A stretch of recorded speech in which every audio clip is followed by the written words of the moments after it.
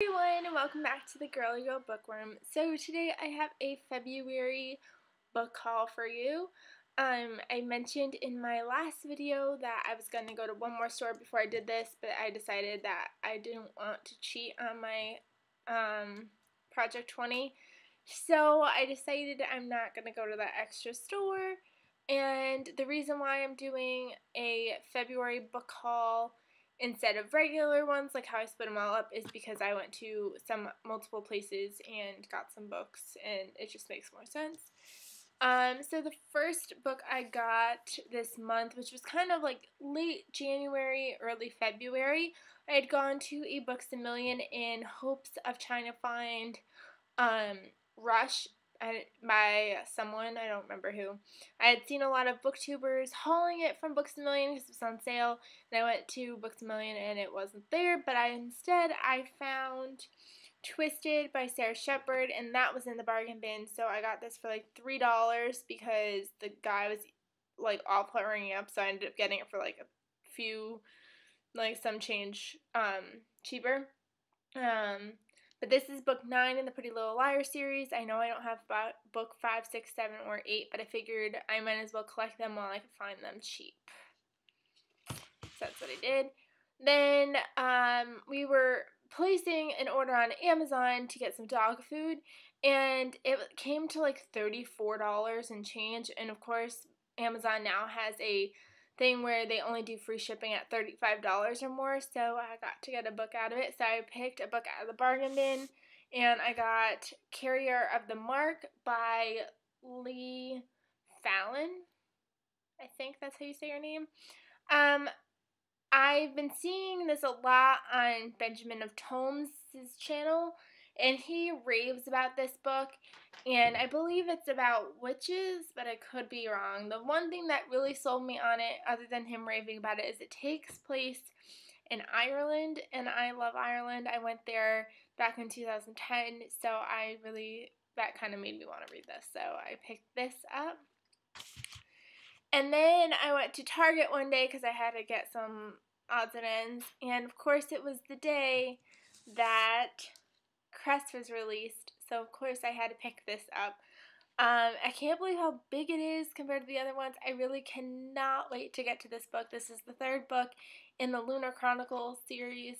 Um, the first one, which is Cinder, so everybody's probably heard of this. I can't believe I haven't picked it up yet. I kind of wanted to haul it before I read it, so that's kind of my explanation, but I cannot wait to get to this one.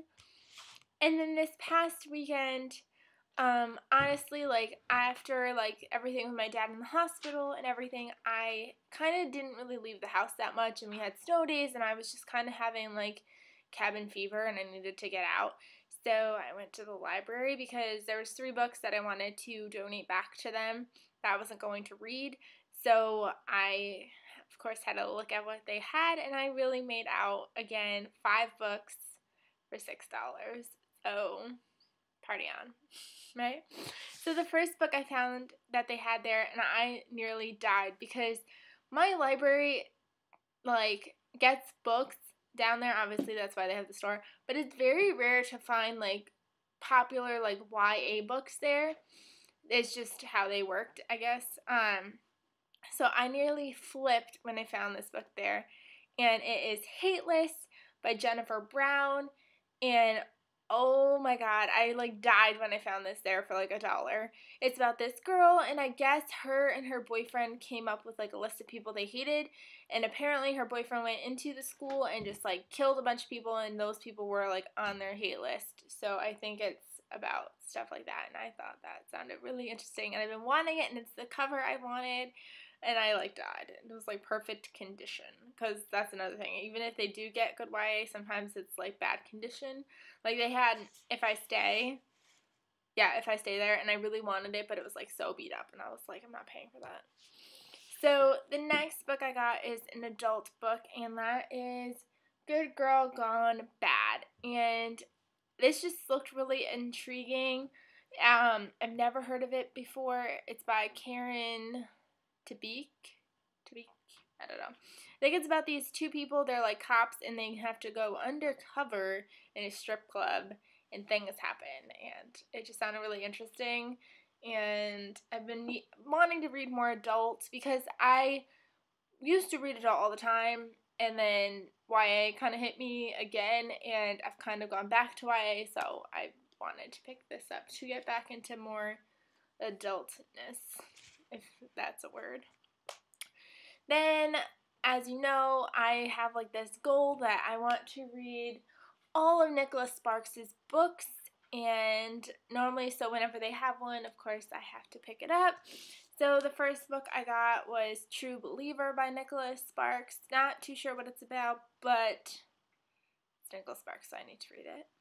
And then I also found A Bend in the Road which I've been looking for because I heard this is one of his better ones not that I I have ones that I like of his, but I heard this is one of his good ones, so I really wanted it, and I was so happy that they had it in hardcover and like good condition, even with really creepy Nicholas Sparks on the back. but I was looking forward to getting this. And then this one book I found, I like couldn't believe it was there because it's YA and it came out last year. Granted, I don't have book one yet, but I will get it but I had to get this one because it was $2. So, yeah, and that is Inheritance by Malinda Lo. This is book two to adaptation. Adaptation looks like this. I've seen it on Book Outlet, I've seen people haul it, I've seen it around, so I could not believe it when I found the second book in such great condition for $2. So I just had to pick it up, had to get it. So yeah, those are all the books I got this month, and now I am going on an official Project 20. I've already read five books towards my Project 20 goal, so I'm working on it. I'm almost there. Uh, not really, but I like to pretend I'm almost there. So, um, yeah, if you know anything about those books and you want to let me know, tell me down below, and I will see you guys in my next video. Bye, everyone!